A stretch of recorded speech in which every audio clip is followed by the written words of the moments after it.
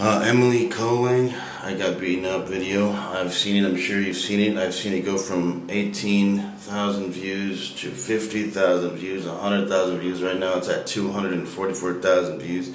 I've seen the donations, the GoFundMe donations jump from $1,000, $2,000, $5,000. Um, her goal is, is 10000 and then last uh, check right now, I think it's over $20,000.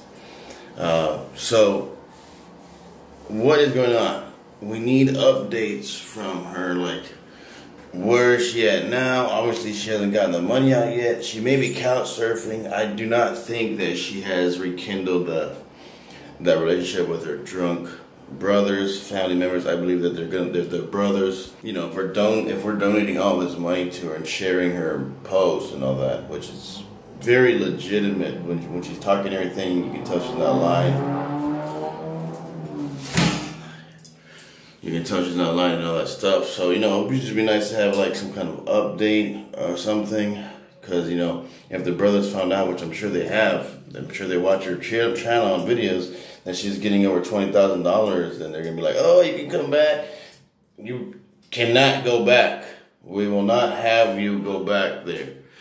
Make sure you check out links in my description, subscribe to my channel, peace out.